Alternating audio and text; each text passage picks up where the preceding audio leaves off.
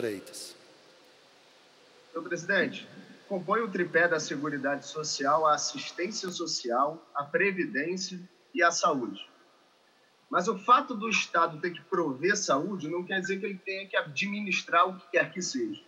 Uma coisa que se provou ao longo do tempo é que o Estado é um péssimo administrador. É um, é um fiscal ruim, mas é um péssimo administrador. Antes das OS, a gente tinha médico fraudando ponto eletrônico com digital falso. A gente tinha desvio de medicamentos. A gente tinha corrupção das mais variadas. Investigando os hospitais de campanha, eu descobri que os, que as, os bicos da, das, dos CTIs eram furtados. Então, corrupção a gente tem em todo lado. O ponto é que o Estado ele favorece muito a proliferação da corrupção. E aí, quando eu, fico, quando eu ouço, por exemplo, que Fernando Henrique é neoliberal, é completamente um despro... é algo tão absurdo que, sinceramente, foge da, de um debate mínimo de coerência. O social-democrata que privatizou por, diante da necessidade, o liberalismo, ele se impõe em razão da falência do Estado. Então, o, o social-democrata ele acaba é, tendo que adotar algumas políticas liberais, porque senão o Estado vai falir. Parasita do jeito que ele é de quem paga imposto. Eu acho que a gente deveria, sim, aproveitar muito esse momento para debater o modelo de saúde do Estado do Rio de Janeiro. Por que, que a gente não faz concessões dos hospitais públicos para que a empresa vencedora possa, por exemplo, atender pacientes do plano de saúde?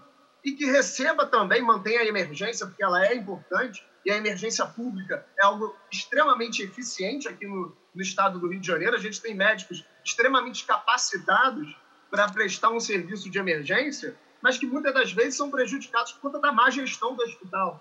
Então, a gente pode abrir, por exemplo, um modelo de concessão em que garanta o serviço de emergência, garanta o atendimento pela tabela do SUS, mas permita o hospital atender os planos de saúde. A gente pode adotar um modelo em que você premia a, a empresa que está estabelecida aqui no estado do Rio, que fornece plano de saúde, desafoga o sistema público de saúde, e a gente cria uma forma de benefício para compensar essa contribuição para a sociedade. A gente precisa, na verdade, é tirar o estado das coisas.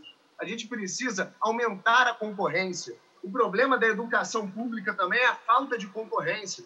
Então, você tem a degradação dos serviços públicos, que, obviamente, a gente não pode ficar contando com a sorte de botar uma pessoa extremamente eficiente e capaz no poder público, coisa que o Estado do Rio de Janeiro, infelizmente, já mostrou um péssimo Estado, é, uma péssima capacidade. A gente tem posto no, poder corruptos atrás de corruptos. Então, o que a gente precisa é acabar com o Estado interferindo em tudo e melhorar a competição, garantir que o lucro sim seja pago para aquele que atende melhor a pessoa, para aquele que realmente resolve o problema da sociedade. E quando eu vejo deputados falando sobre ah, o como é perverso o lucro, eu me pergunto: um sujeito que faz um concurso, por exemplo, para promotor de justiça e hoje recebe um salário de 70 mil reais, ele não lucra? É óbvio que lucra. Quando você olha o imposto de renda, as declarações de imposto de renda, e você vê quais são as profissões que mais lucram no país, são quase todas do serviço público. Então, quem é que está lucrando? com certeza não é a sociedade e não está lucrando por conta do Estado. Obrigado, presidente.